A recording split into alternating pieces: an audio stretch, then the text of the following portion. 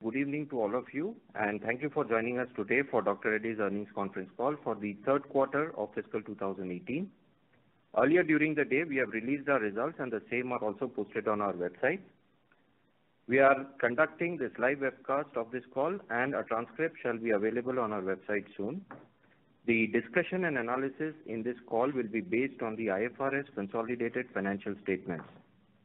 To discuss the business performance and outlook, we have the leadership team of Dr. Reddy's comprising Mr. Abhijit Mukherjee, our COO, Mr. Saumen Chakravarti, our CFO, Mr. Anil Namboodiripad, who heads our proprietary products business, and the investor relations team.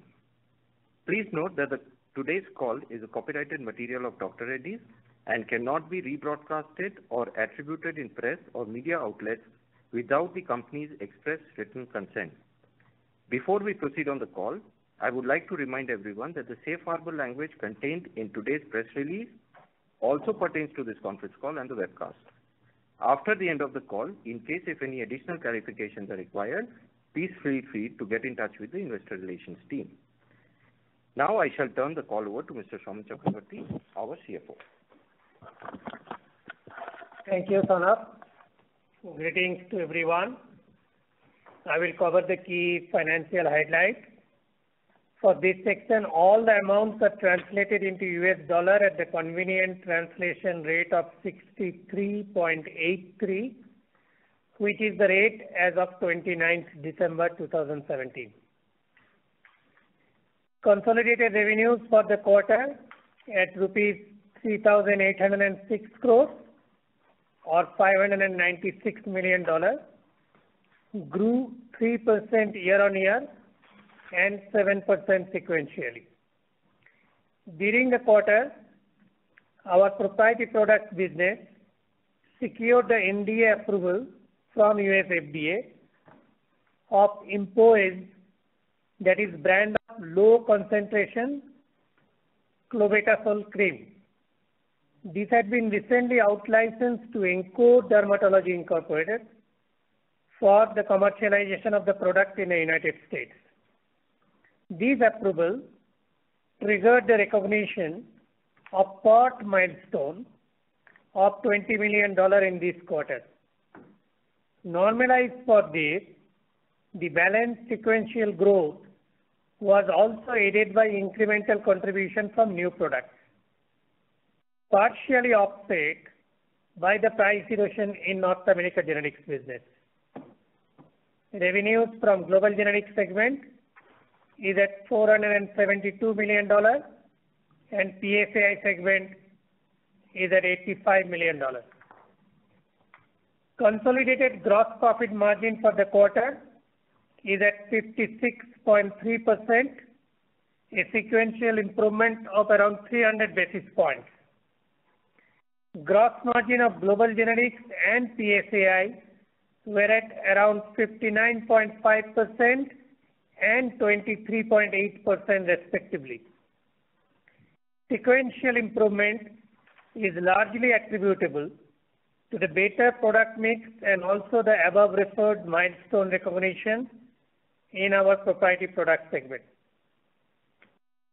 SG&A spend, including amortization, is rupees 1,205 crores or $189 million, a sequential increase of 9%. During the quarter, we settled with the U.S. Department of Justice on the litigation involving packaging-related issues against a payout of $5 million. Barring this, the balance increase is on account of certain sales and marketing and other spends towards events specific to the quarter. We continue to focus on optimizing costs as an organizational priority. R&D expense for the quarter is rupees 467 crores or $73 million, representing 12.3% to revenues. This is in line with our expectation of cumulative spend of around $300 million for this financial year. EBITDA for the quarter is rupees 806 crores, which is $126 million and is around 21.2% to revenues. During the quarter, we generated $136 million of positive cash flow from operations. Consequently, our net debt to equity ratio has improved to 0.25 as on 31st December 2017. As you all are aware that recently the USA has enacted the Tax Cuts and Jobs Act of 2017. Consequent to this enactment, we have reviewed and remeasured the deferred tax assets and liabilities of our U.S. entity, resulting in a one-time charge of rupees 93 crores recorded under tax expense. Normalizing this impact, the effective tax rate for the quarter is approximately 28%. However, on the adjusted basis, the annual effective tax rate would be in the range of 23%-25% as guided earlier. Key balance sheet highlights are as follows. Our operating working capital decreased by rupees 33 crores or $5 million over this quarter. Capital expenditure for the quarter was rupees 221 crores or $35 million. Foreign currency cash flow hedges for the next 15 months in the form of derivatives for US dollars are approximately $290 million, largely hedged around the range of rupees 65 to rupees 67.8 to the dollar. In addition, we have balance sheet hedges of $212 million. We also have foreign currency cash flow hedges of 970 million rubles at the rate of rupees 1.12 to the ruble, maturing over next 15 months. With this, I conclude my section and request Abhijit to take through the key business highlights. Thank you, Saumen. Uh, greetings to everybody and a warm welcome on the on this earnings conference call. Let me take you through the business highlights for each of our key markets. This has been a good quarter for us despite challenging market conditions. At an overall level, we have seen some growth on a sequential as well as YOY basis, with most businesses doing well. We look forward to building on uh, uh, on this growth momentum in coming quarters. Please note that in this section, all references to numbers are in respective local currencies. Our North America generics uh, business revenues for the quarter are at $246 million, uh, registered a healthy growth of 12% on a sequential basis. This growth was predominantly driven by high sales for Sevelamer launch owing to channel sell. The quarter continued to witness higher levels of price erosion for base business in low to mid double uh, uh, digits, driven by customer price harmonization and increased ANDA approvals. We anticipate the market dynamics to remain challenging in near term, owing to annualized impact of pricing uh, actions and incremental competition in some of our high-value assets. On the other hand, we have launched 11 products in U.S. and two in Canada till date. In this quarter, we ramped up sales of Sevelamer tablets, launched clofazimine and melphalan injections in the U.S. market, and azacitidine injection in Canada markets. We continue to gain traction on new launches and have performed well in contracting market shares. On the pipeline front, coming fiscal is expected to remain exciting with fairly good number of new launches scheduled, including some high-value assets.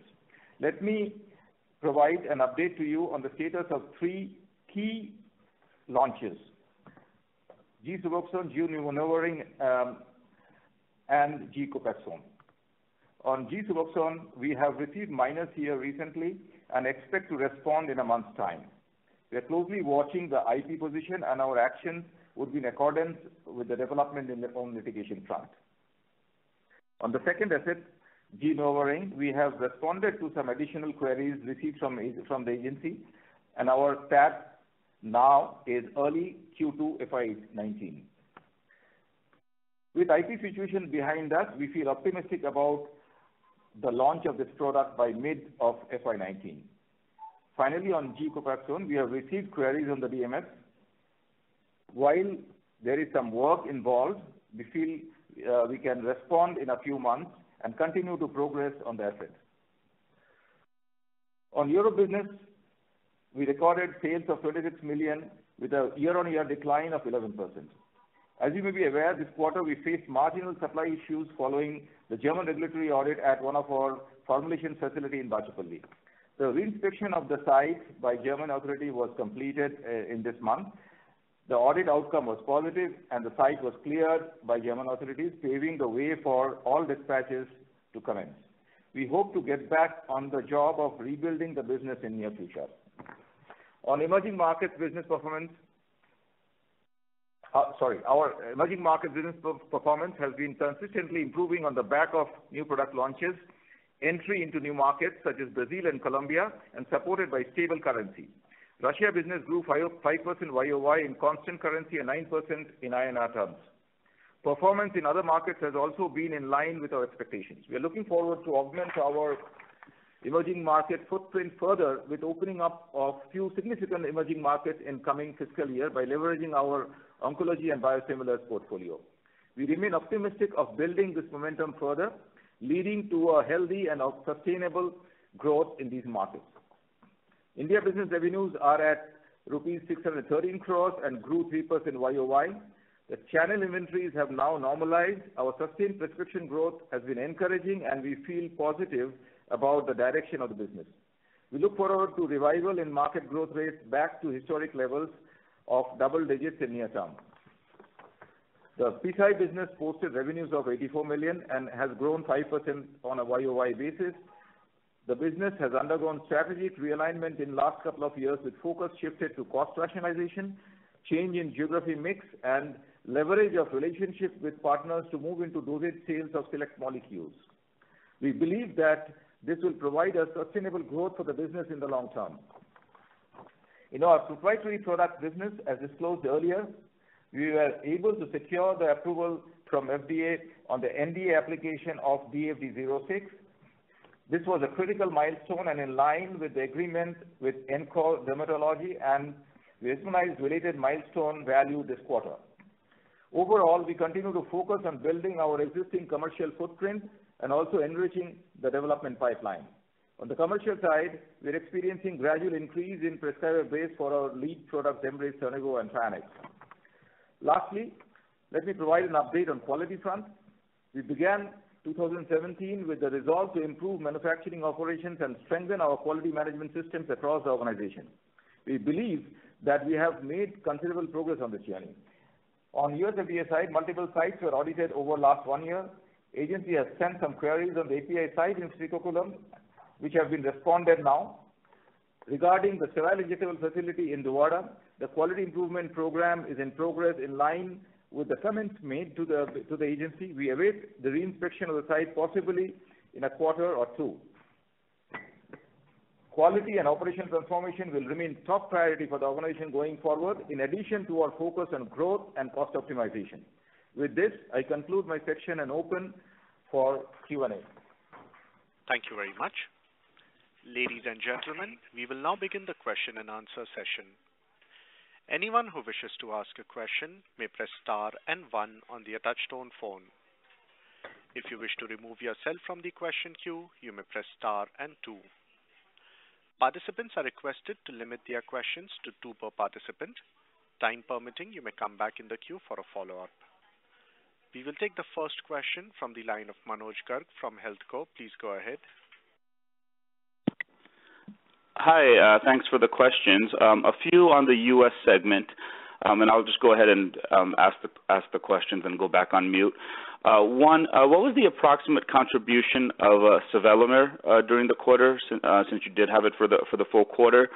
Uh, two, uh, on U.S. price, can you share uh, some additional color other than um, the one or two lines that are in the press release? Um and then lastly, um, I think you spoke briefly about Copaxone and Suboxone. Can you just maybe um, extend a little bit more color there as well as in terms of the nature of the queries or what the agency you know continues to look for there, as well as provide an update on Revlimid? Thank you. Okay, a lot of questions. Uh, let me uh, take the first one on Revlimid. Without getting into absolute specific details, we were ahead of the other competitors uh, by you know, a few weeks, which helped us in launching the product and fill the channel. So, it is you know, significant and will see some erosion uh, in the subsequent uh, quarters in terms of. Uh, while on the other hand, there is of course um, you know, the innovator um, you know, the percentage of shares continues to be high, which also provides some opportunity for the future, but more players have entered and prices have you know, fallen to the level with more competitors coming in. Uh, the second question was, I guess, the color, uh, a little bit of color on pipeline and launches, I guess. That was the second question, was it? Uh, yeah. Yeah. So Yeah, just on U.S. price. And price. And price. Okay. Broadly, the next year, next year I think, um, quality of launches, um, we we feel better than this year. Uh, however, this is all uh, subject to approvals um, coming on time and litigation playing out uh, in the right way. Um, but having said that, clearly richer than this year. On the on the pricing, let me take it in two parts. I will borrow the term from another company, base products and transitional products. Base products erosion is likely to slow down and flatten in, uh, you know, coming several quarters, if not immediately. But the transitional products intensity of uh, erosion will continue to be fairly heavy. Um, you know, um, um, in uh, net of net, I think we would continue to see annualized erosion in, you know, low double digits. But it's, any it's you know, these are, you know, predictions, uh, and, uh, you know, uh, difficult to be very specific about these. Your third one was, um, Color of portfolio. No, on the on the specific assets.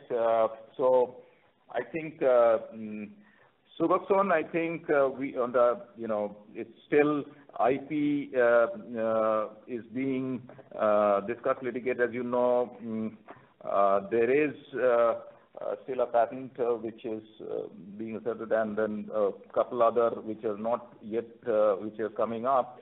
So we'll see. But uh we feel very strong about our position. But on the litigation, let us see how that progresses.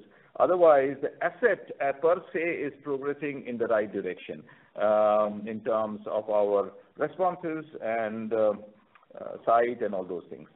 Uh, As far as NuvaRing is concerned, the IP is clear, as you know, and it all depends on the approval of the asset. And I I just sort of mentioned that it's progressing, and we have a TAD in very early Q2 of FY 2019. Copaxone, uh, uh, the DMF, uh, you would recall we had a date of November, but it got two and a half months delayed. We just received a week back or so um, the DMF queries. It involves some work in terms of analytical, but the good thing is, I think we feel and our our science team feels that Uh, there's nothing we should not be able to answer. Having said that, uh, it will take, uh, you know, four to five months to put it together and respond. Um, and we'll see whether there are follow-up questions um, on that, et cetera. So, beyond that, um, it's you know, that's where it is at the moment. I guess I have more or less answered all your questions. Thank you. We will take the next question from the line of Prakash Agarwal from Axis Capital. Please go ahead. Yeah, thanks for the opportunity. Good evening to all.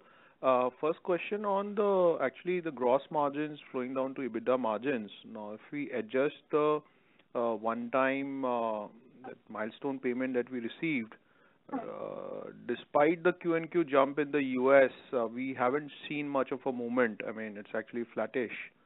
Just trying to understand what has really, uh, you know, led to this. Is it the, you know, the pricing pressure, though we are getting top line, but uh, uh, we have not got the margins, or how should we think about that? If the sequential improvement is around 300 basis points, slightly more than half of it is due to the property product milestone-related revenue recognition. So remaining Uh, is on account of uh, uh, the U.S. growth as well as whatever other measures that we have been taking. But there have been, you know, there will be always some quarter-specific events, so that's why it is very difficult to predict accurately how the margin is going to move from one quarter to another quarter. But if I remember, you know, in the last quarter, in our call, there were specific questions about margin. So we are targeting to keep uh, in the same kind of a range. Okay. Until and unless uh, your uh, major products start kicking in next year? Yeah, of course. If there is a, um, like a significant product launch which happens with much higher margin, that will help us improve. And couple of, uh, you know, peer group have talked about, uh, you know, some impact of, uh, you know, the VBAD pricing from the consolidation. So has that also, you know, impacted in terms of pricing apart from the base business pricing erosion? Yes, it had an impact. The agreements had its impact. And and it's a full-blown impact, or we are likely to see more impact going forward? Mostly it is factored in. Some may still uh, spill over. Okay, understood. And secondly, you talked about TAD for NuvaRing, I think, which has slipped to uh, 2Q now. Uh, would you have a TAD for Copaxone and Suboxone as well?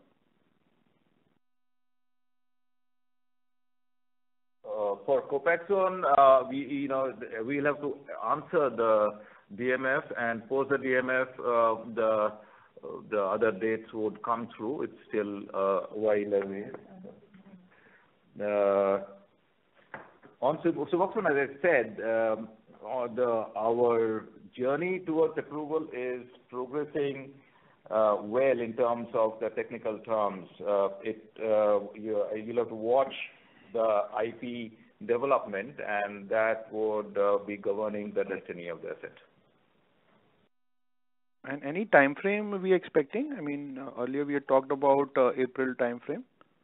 On the litigation front, uh, it'll be difficult for us to comment. Okay, understood. And one more question I had was on, you talked about the quality of approvals and launches would be better going forward. So you are assuming or you're factoring in Srikakulam as well as the Duvada facility resolution, or uh, it's without that you're expecting both the number of approvals and the quality of filings to be better? So, mm, I mentioned uh, about few assets, um, uh, you know, NuvaRing, a little more, Uh, there's more certainty around Suboxone. Uh, certainly we feel optimistic. Uh, we'll see where it goes from there. So these certainly Glatiramer, as I said, that we should be able to respond. These are all in public domain, but there are quite a few which um, are not, certainly not of this size, but still meaningful in course of the year, which can provide, I mean, I'm talking of, Uh, you know, four quarters of next financial year, uh, which can provide uh, good support to the launches. I mean, taking all of it rather than getting into specific side deals. Why I'm saying not commenting on the side details, because you'll appreciate that next year's launches, um, you know, it would not be fair to factor in Uh, too much site level uncertainty. So some tech transferred, some maybe towards the end of the year and in the process of being tech transferred and so on and so forth.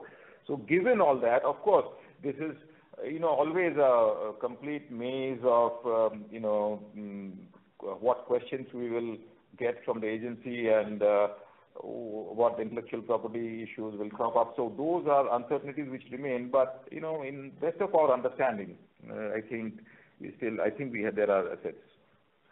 Perfect. Thanks. And lastly, you missed your- call. Prakash, I'm sorry to interrupt, but may we request you to come back in queue for follow-up questions. Thank you. Participants are requested to limit their questions to two per participant. Time permitting, you may come back in the queue for a follow-up. The next question is from Neha Manpuria from JP Morgan. Please go ahead. Uh, thanks for taking my question. Uh, sir, on Suboxone, is it fair to assume that, uh, because we have a minus CRL, our TAD will now be pushed out versus the March, April, you know, TAD that we had? Look, I think, let me once again talk about the asset.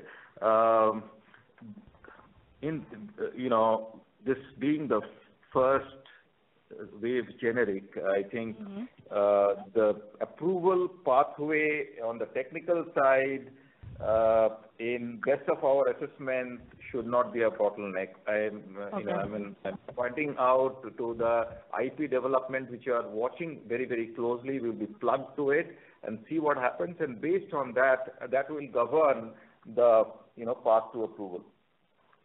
And would this have to do with the uh, new patent that has been filed by the innovator?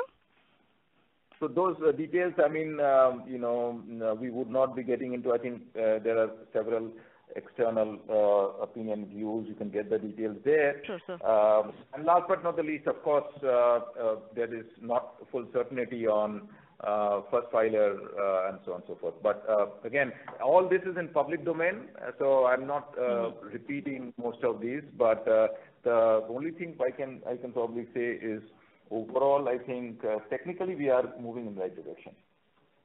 Okay, got it. And sir, uh, you know, we had uh, talked about cost savings uh, two quarters back. You know, we haven't really seen that much of it come through in our numbers. Our SG&A, even adjusted for the litigation settlement increased. When, you know, when should we start seeing the impact of the cost saving reflect in our numbers? So if you take away what I said specifically, that there was a settlement Uh, for which uh, uh, settlement with the DOJ. So if you you know, normalize that, and I also made a statement, there will be always, you know, some quarter specific things one has to look at. But we internally have been seeing good effect on all the efforts which has been put for cost optimization. And uh going forward in subsequent quarters, we can see even a better traction. Thank you. We will take the next question from the line of Anubhav Agarwal from Credit Suisse. Please go ahead. Yeah, thank you. Uh, Swami sir, one question on India and Russia. Despite the higher promotion spend this quarter, we haven't seen the strength of growth in either of these two markets. Especially Russia, eh, the base was weak and India base was not great as well. Uh, what has happened in these two markets? Uh, The SG&A in branded markets uh, do not uh, immediately translate into sales uh, impact. Okay? These are, you know, building brands and things of that sort. So it's not um, not exactly immediately sort of replicable. Having said that, um, the mega brands in Russia have some, these are very big brands and which are sort of, uh, you know, we, the big brands where we have uh, Nice, uh, Omez, Cetrine, very big. And they, they, you know, the growth has tapered to a certain extent. But there are new launches. But more importantly, overall emerging markets, I think, we would feel we are feeling good about the institutional business ramping up in the new markets. Um, so both Colombia and Brazil doing well and will further ramp up in Q4. And uh, mm, uh, as we go into next year, I mean, giving a forward-looking little bit of uh, projection, I think next year we hope to open another four to five markets. And there is a strategy, and we want to extend the strategy all around the world. and that part we feel optimistic about. I mean, every quarter we wouldn't be able to explain SG&A to turnover, but oh, you know, given the stability in commodities, especially oil, I think we feel good in next several quarters in emerging markets. Sure, Abhijit, sir. That's helpful. One question more on the U.S. market, Abhijit, sir. That, uh, If you look at the U.S. sales of $246 million this quarter, there were two components, certainly, like there was some benefit of seasonal sales, and certainly Renvela uh, or Sevelamer was a high contributor. If you were just to normalize Renvela and take off seasonal, just to understand what's a true base to look at, would a 5%-7% correction would be a reasonable number to look at?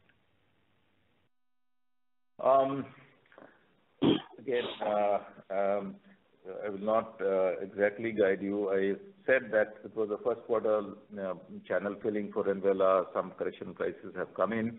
Um, on the seasonal sale of largely injectables, this year was certainly not as big as previous years. The fact that the big assets have eroded on the face of competition to a certain extent, um, less on market share, more on pricing. And hence, the impact of that uh, may be to a certain extent, but not as big as previous years. But uh, these two factors are rightly picked up. But we do have uh, in U.S., um, I mean, there is a possibility of an injectable launch, which we'll see. Most of it is in public domain and, you know, IP um, development and all that. And the second thing is uh, second thing is uh, we have, uh, you know, one-off type of opportunity for a couple of quarters, also next two quarters. But then um, there is also price erosion thing which is still continuing, and there is some more play out of erosion in the next one or two quarters. So we have to take that in totality. So overall, yes, um, I mean, there may be some erosion vis-à-vis this quarter. Thank you. The total business. Thank you. We'll take the next question from the line of Christian Glennie from Stifel. Please go ahead. Yeah, good afternoon, and thanks very much for taking the question. Um, I just wanted to clarify again, if I may, on generic Suboxone, just from a from an FDA and a regulatory perspective, you know, outside of any patent or litigation issue. Uh, just to clarify, it sounded like you received a minor CRL Uh, recently. That's your, uh, if I understand, that's your second CRL on the on the product. So what what does that relate to? Um, because presumably it's all done on a technical level, it's not really related to uh, to patents and outside of things. Um, and then what's your timeframe from here? I mean, I think if I got it right, you talked about um, responding to the CRL in about one month. And then what would be your projection in terms of FDA review timelines of that response? So on the type uh, of uh, question, all I can say is, uh, we think all these questions are easily answerable and hopefully satisfactorily. We would be able to respond to this in give or take three weeks from or three to four weeks from now. Um, and normally, when the first wave of generics, I think, uh, agency is really providing, um, you know, the resources to such files. So mm, you know, mm, depending on whether there will be more questions or not, at least the technical approval pathway, uh, you know, should be very far. You can do your own calculation. Yeah.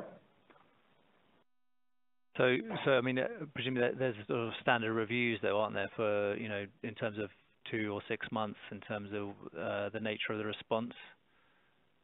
Yeah. I mean, in in a first wave generics, uh, that's a fair assumption uh, from the response. You know, um, it it it it normally agency puts priority on such things. Okay. Thank you. Thank you. We will take the next question from the line of Sebastian Sauter from RBC Capital Markets. Please go ahead.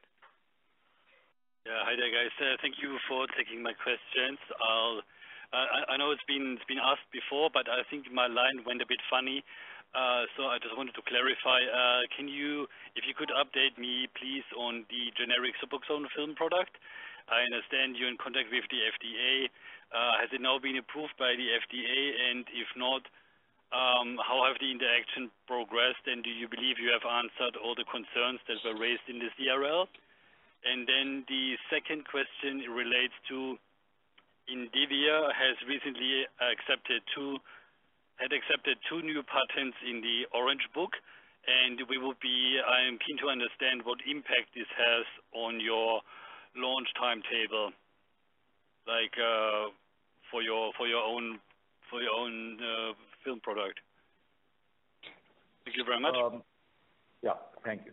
Uh, firstly, on the litigation and the details, uh, we wouldn't be commenting. As I mentioned, we'll be watching this very closely. It's top of our priority, but we wouldn't be commenting on litigation and patents and quite a few things in public domain, uh, you'd have to look up. But on the technical side, I think we are doing fairly well, which I just explained in the last question. On the technical side, I would not repeat the same thing. I think we are doing okay.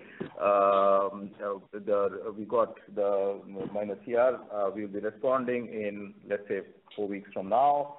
And, uh, yeah, you know, it doesn't. It's probably a quarter from there, I think the technical side, but, uh, we'll have to watch. Yeah, yeah, yeah. Other aspects on first filer aspect, which we wouldn't never have visibility about, and um, IP wouldn't comment on. Okay, okay, okay. So basically, uh, can I just summarize this? You said you got the minor CRL, and you're going to respond in four weeks from now, and you would assume a further response from the FDA, probably a quarter from here, uh, from then, and this is basically because you are the first filer, right? And- First wave. First, I said first wave. Uh, we still, it's not been clarified that who's the first filer. Okay, great. Okay, great. Thank you very much. Thank you. We will take the next question from the line of Saion Mukherjee from Nomura Securities. Please go ahead. Hi, good evening. Uh, is it possible to give a split uh, uh, between proprietary products and others, the $39 million for the quarter? When you say, proprietary products and others mean? Uh, so you have $39 million. So how much is uh, proprietary products in there? So basically, we are giving segmental uh, revenues, Saion. Yeah, I just wanted to know the, you know, the proprietary product, you know, excluding the licensing. So you, if you have a specific question, you can get back to investor relations cell later. Okay. And, you know, so continuing with the prop products, can you, you know, basically, give us the timeline for your filings of phase three assets, uh, which are currently under uh, development? Uh, can I ask Anil to respond to this? Yeah. Hi, this is Anil Namboodiripad. Let me answer that question. Um, so we have one of our key flagship assets that's expected to be a major revenue driver for the Promius/proprietary products business. It's called DFN-02, which is um, Uh, nasal sumatriptan for the treatment of migraine. We expect uh, to file an NDA in the next three to four months um, with that asset. We have another phase three asset that has completed phase three, and uh, there are still some other um, preclinical studies and some CMC activities that are going on.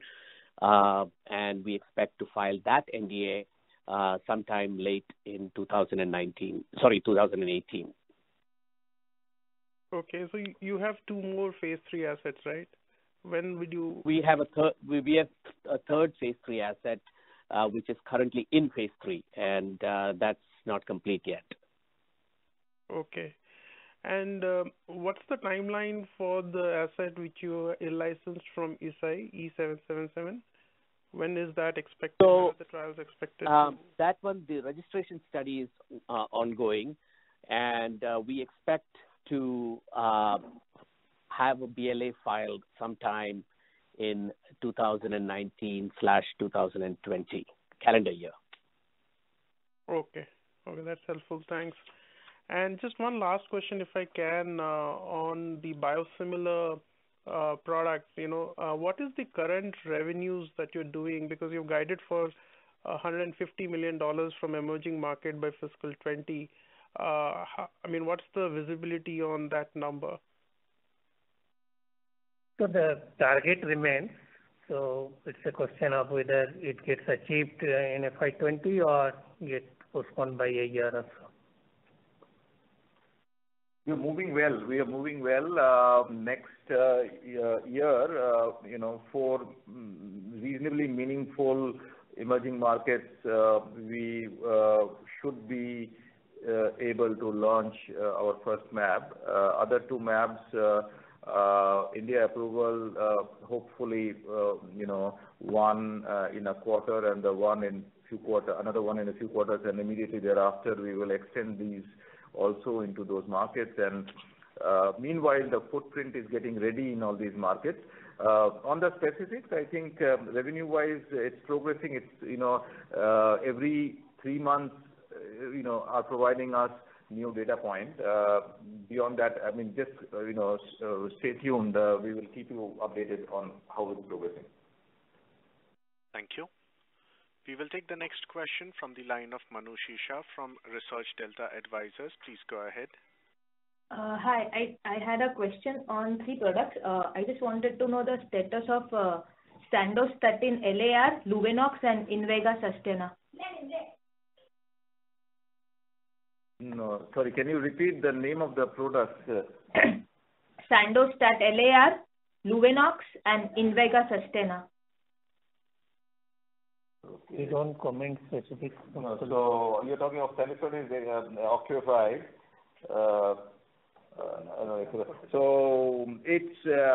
It's some time away. I mean, we are, uh, it's a complex product. We are trying to sort of uh, work on it. I mean, it's not, uh, it'll take time.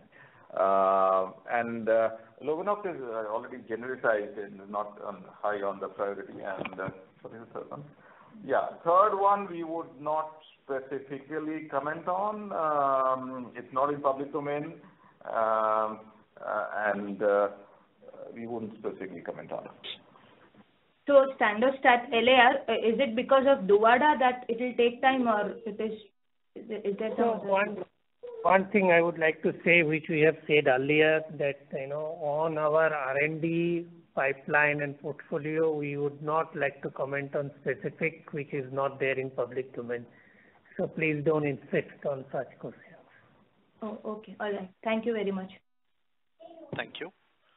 We will take the next question from the line of Sameer Baisiwala from Morgan Stanley. Please go ahead. Hi. Thanks. Good evening, everyone. Uh, just a quick question on Duvvada. Uh, you were planning to do some site switches from there. Can you please update us on that? And do you expect any from the site switched um, uh, products, do you expect any major one getting approved in fiscal 2019? It's an ongoing process, Sameer. Ongoing process. Uh, not any, you know, very easy exercise in pharmaceuticals, but we are taking one by one. Several in the past have happened. Mm, From Duvvada and uh, other sites as well. Uh, some of it has, you know, I'm talking of the last uh, 18 months or so. But as we speak, I think more being done.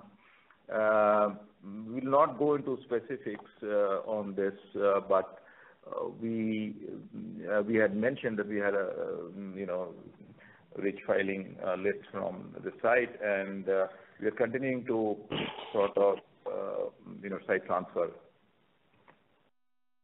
Okay. And on Copaxone, your entire commentary, I was for 20 milligrams, uh, or also for 40 milligrams? Because for 40, I thought the PAD is in March. No. Sameer, everything will be hinging on the DMF. Okay? As you know, uh, the formulation is uh, less, so the formulation. There may be a few follow-up questions. One, you know, so that should not be, you know, shouldn't be much to handle. Um, Uh, should be much of a problem to handle. Um, and uh, uh, so we are focusing very deeply on on the DMF. And once we address it, I think. And of course, it's applicable to both assets, you know, and both assets have been filed. We probably last time said that we had start dates for both We'll we'll sort of. We are not so much sort of preoccupied on the on the dosage thing. Okay. No, that's wonderful. That's that's good enough. And just one final uh, quick clarification on Suboxone and NuvaRing. Suboxone, uh, Abhijit, when you say the IP is something that you're watching very closely, uh, and I know you're not going to talk too much, but just a little bit of a nuanced view. Is it your appeal case that you are more worried about, or is it your competitor's appeal case that you're more worried about? And the second is on NuvaRing. I understand the patent is going to expire in April 2018, and you probably are looking for launch in fiscal 2Q19. So Do you still think you'll be the first player, or do you think a competitor enters before you? Okay, let me answer the easier one first. Uh, NuvaRing, yes, April uh, 2018 uh, it goes off, or the patent goes off. Depend, Depends on um, approval. At the moment we have TAD. The responses have gone in Uh, early Q2. Uh, so That's uh, mm, you know, slightly clearer pathway. As far as Suboxone is concerned, again, I mean, anything on IP, Sameer, will be difficult to comment because you have to study this. Um, but we we are you know, watching this very closely. We feel strong about the position we have taken, very strong about the position we have taken. But then it's, there are views which have come up. So we'll see how which in which direction uh, it goes. Um, and uh, we have to leave it there uh, as far as Suboxone is concerned. And of course, we have mentioned that the first filer exclusivity is not clarified as yet.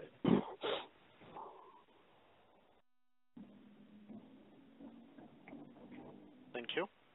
We will take the next question from the line of Chirag Talati from Kotak Securities. Please go ahead. Yeah. Hi, thanks for taking my questions. Two questions. So, uh, a DMF query, essentially it means that uh, it's a major uh, CRL. And if that is the case, given that this is probably a third or fourth cycle of review, there won't be a TAD that will be applicable, right? Mm-hmm. So it is a major CRL. As I said, there is technical work. The volume of work is there, but it's not something you know, which we cannot uh, answer satisfactorily. So there are, uh, I think we we will need some time. Beyond this, we'll see how that unfolds, actually. Uh, fair enough. Second question, uh, I mean, if I look at your U.S. sales, you you talked about injectables, injectable stock, stocking not being very high. But if we look at you know, your penicillins portfolio and also some of your Uh, antihistamines or LTRFOs, uh, that should also have been a seasonally strong quarter. So, you know, adjusting for these two, uh, I mean, can you can you give us some sense of how the quarter would have panned out? Um so on the injectables, there is some, as I said, that, you know, Renvela you know, ramp up and injectables are the two factors. Uh, the other factors uh, are not significant. I mean, when you're talking of uh, ceftriaxone and things of that sort, uh I they I mean, I would it make a substantial difference? I wouldn't think so. Um, yeah. And uh but so the three factors which I mentioned is scale-up of these two. There is, of course, some more price erosion to be played uh to be playing out, to be counterbalanced uh, to a certain extent by uh, probably, uh, hopefully an injectable launch and some one-off business. But all in all, I think, would we be able to maintain similar level of Q4? Less likely. Okay. Thank you so much. Thank you. We will take the next question from the line of Shyam Srinivasan from Goldman Sachs. Please go ahead. Hi. Um, uh, thank you for taking my question. My first one is on the U.S. Uh, tax changes. Uh, this deferred tax and assets and liabilities, I think it's a is a one-time outstanding event. But can you talk about the flow in terms of the BEAT provisions, the base erosion and anti-abuse tax? Does it apply to our U.S. subsidiaries for Dr. Reddy's? No. Okay. So we will so there is no incremental impact that we foresee from this act uh, going forward in our business? No, this is just uh, the one-time impact that has been taken. and uh, depending on the inventory which is there there could be a very marginal, but that has to be. Great. How much it gets liquidated during the quarter, it will depend on that. Got it. Thank you. Just a second question on the commentary on the Indian business, which said the channel inventory has kind of normalized now. So are we working with a lower number than uh, pre-GST? Is it like 25, 30 days now? Uh, or where is the new normal at this point of time? It has gone past 30 days, but it might not have gone back to 40 days. Okay. Okay, and my last question, if I can squeeze in. On the tax rate, uh, you know, you said normalized tax rate is 28% for the quarter. Uh, what gives us the confidence that we can do the 23%-25%? Because I think we have been trending above all those numbers in the first nine months. So we said our annual ETR will be in the range of 23%-25%. We are still holding to that. Of course, the annual ETR now will go up because of the U.S. Uh, you know, Tax Act. I'm saying if you adjust for that 93 crores, then it will remain within that range. Thank you. We will take the next question from the line of Vishal Manchanda from Nirmal Bang. Please go ahead. Yeah. Thanks for taking the question. Uh, can you update us on Aloxi litigation? Uh, there has been some recent uh, event happened there. I mean, the whole lot is in public domain at the moment. So you know, it's everything is in public domain. Um so just you can you know, just click and read up, actually. Um, and um, we'll see. We are keenly watching as we speak. Uh, so, I just want to understand, does it affect, uh, so can we expect a launch uh, in the near term? Depends on the way court outcome happens. Okay. Uh, second one, uh, your out-licensed asset, uh, Zenavod, which you out-licensed to Galderma. So could you guide us on when this would be commercialized? Anil? Yeah. Um so we are still awaiting commercialization plans from Galderma. They they have some internal um, um, strategic priorities. Um, and but we do know that they intend to launch. We are still awaiting. Okay. And uh, finally on this, Sernivo and Zembrace SymTouch prescriptions seem to have plateaued for a while. So how do we look at it uh, going forward? Well, uh, I wouldn't say they have plateaued. For example, Zembrace has actually been growing about 7%, 7% quarter-on-quarter and has gone grown about 25% over the same time last year. Um, Sernivo has been slightly slower, but more recently, there has been a pickup in uh, prescription volumes. Um, and um, you know, one thing I want to remark here is that Zembrace has actually been uh, trending uh, quite favorably. And one of the key reasons for that is because we have we managed to snag a major PBM listing uh, back a few months ago uh, with CVS Caremark, and that has had an impact on the volumes. Sernivo, on the other hand, we are still waiting uh, to get the CVS Caremark coverage, which I think will make a big difference in terms of the uplift in terms of prescriptions. Um and we are constantly, continuously working on getting unrestricted payer coverage across several other major plans. Um, um, You know, we still are quite bullish about the uptake of these two assets over the next quarter and beyond. So How long this? Uh, how long will you take to put the coverage in place as uh, you would uh, wish for? Um, so the, you know That is something which um, is hard to specifically put a date on. Uh, the reason being that many many of these major plans, or most of these major plans, have specific calendars where their pricing and therapeutic committee meet and make these decisions. Um, so um, I cannot at this time um, put a timetable in place, but uh, we are making every effort. Uh, we have actually beefed up our our managed care group here. We brought in a few industry veterans uh, who have the right set of connections and the right experience with many of these plans. So they're out in the field speaking with all of the major plans, and uh, we are uh, quite optimistic about a positive outcome in the next several months. Thank you. We will take the next question from the line of Karthik Mehta from Deutsche Bank. Please go ahead. Yeah. Hi. How should we look at the R&D expense uh, over the next two years, assuming that you have a lot of uh, filings and a lot of uh, proprietary related products? For the for the year, we are still averaging lower than the last year average. Any thoughts on R&D FY 18, 19, 20? Thanks.